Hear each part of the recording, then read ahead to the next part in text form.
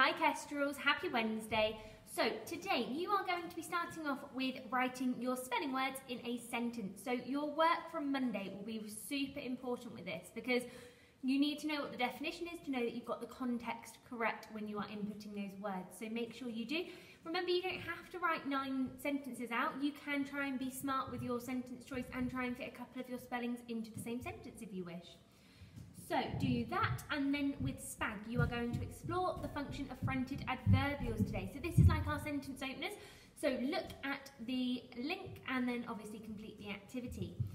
So for Talk for Writing today, there is a video for you to look at, which Miss Martin has done today. So we've done it a bit differently today. Rather than us modelling writing it as a video, what we've done is we have videoed it over the PowerPoint that we are going to be discussing some points about. So let us know how you get on with it, whether you prefer the original way or whether you prefer this way. So what you've got to do is you're going to be writing a paragraph today using modal verbs and this is going to use your knowledge and the research that you did yesterday all about elephants. So thinking about modal verbs, words like might, could, should, would, perhaps, or surely. So you're going to put those into a sentence to put, talk about why we might need to save elephants. So it might be because of some of those really interesting facts that you learned about. So for example, you might want to say, surely it isn't too late to save the elephants. If we act now, what might that save? So that's what you need to do, a nice paragraph. And like I say, there is an example on the video that Miss Martin's done for you. So then it's break time, and then timetable rock stars, please, 10 minutes. And really focus, try and get your speed up. Hopefully we are whizzing through those levels and then we can get off the automated play and start playing studio games. So keep working on it. With your maths today, your learning objective is to read and interpret tables. So as always, watch the video link to support it and then complete the worksheet. For Talk for Reading today, you are answering the questions for day three, The Tale of Custard the Dragon. Obviously catch up if you haven't already because you don't want it to build up by the end of the week, so just try and fill those in. Then it's lunchtime for computing this afternoon. I can't believe it, but we're on to lesson five of design to code, so our variables and games unit. So again, follow the link and complete the activity. For PE this afternoon, it's PE with Joe Wicks. So watch that video and complete if you want to do something else that is physical, if you want to use your real PE login to do something different, that is also okay. We just want you to be making sure that you're physical and active during this lockdown as well.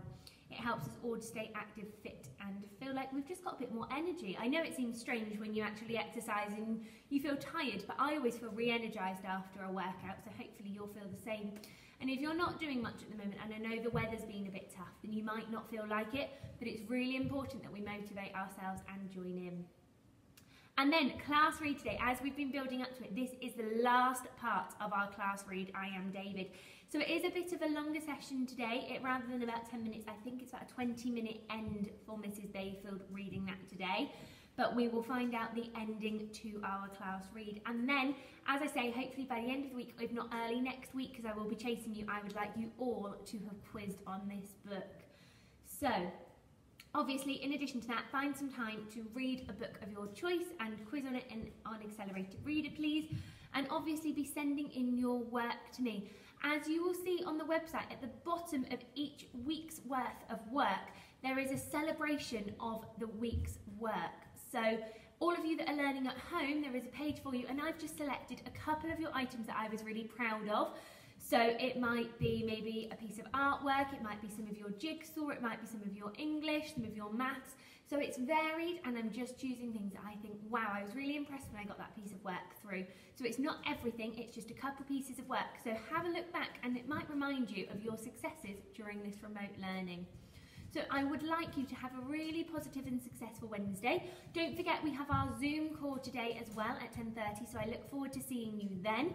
I didn't fill that in on the timetable, but I do look forward to seeing you then. And then obviously I will see you tomorrow. Have a great day.